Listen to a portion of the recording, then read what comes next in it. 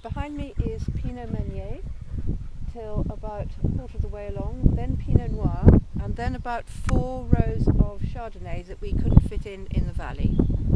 And there's four clones of Chardonnay down here.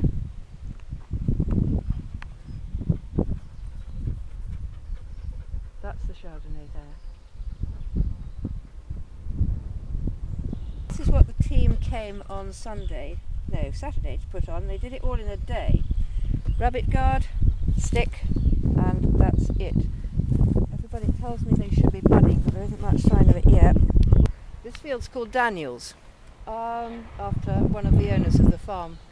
Um, this faces almost due south here, and west here. So I don't know where the sheep are is too high. We wouldn't go that high. It'd get very windy. Um, I think maybe this corner here and down lower down I think would make an excellent vineyard. And the people who tested the soil liked it too. Steven first had the idea for vineyard in 1987 when we came here because it's all chalk. And um, we had some soil samples done but then we had a succession of rather nasty summers and winters and just thought, oh, well, it's probably not worth it. And English wine wasn't really going so well then, so we forgot about it until two years ago. Well, it was entirely Steven's idea. I must say, I wouldn't have taken a punt on it. He says it's me. I don't know. I think it is me, basically. I'm learning as I go along. He did all the ordering of the vines, and he does the paperwork, I'm glad to say, because that I loathe. I said, I won't do this unless you do the paperwork. So he does the paperwork.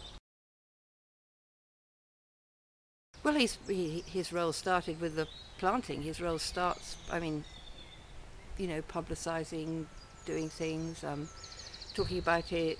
His, his role is, is ongoing all the time. Okay. He's really involved. He fusses about it more than I've ever known him. I've never known him even notice a plant before.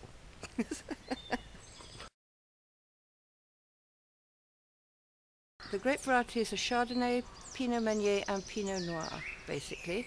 We have uh, four clones of Chardonnay. I think the first vintage won't be till about 2014, as I understand it. It's a bit like the Forth Bridge. Um, you start at one end and you go on to get the other, and then you start again. You spray, you tweak, you prune, you tie in, you uh, you get rid of the weeds, and um, you bud rub, which is beastly, and then you start again. So far, there hasn't been much to do. Planters have planted it, and a large team came in and put all the tree guards on, and now we're waiting for the first shoots, and then we will really start working. The company is called Bride Valley Brut because this is the Bride Valley, um, but I don't know what the wine is going to be marketed as.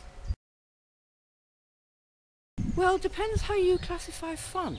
Um, it's interesting, very interesting. It's not always fun, but yes, basically yes.